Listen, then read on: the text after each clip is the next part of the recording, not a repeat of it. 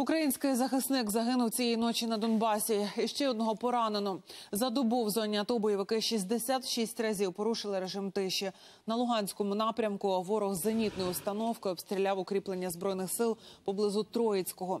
З мінометів забороненого калібру гатив по захисниках Кримського, а в районі Луганського атакував з БМП. Також під вогонь з гранатометів потрапили оборонці Новозванівки. На Донецькому напрямку з мінометів, гранатометів і стрілецької зброї окупанти не раз відкривали вогонь по наших укріпленнях в районі шахти Бутівка та Авдіївки.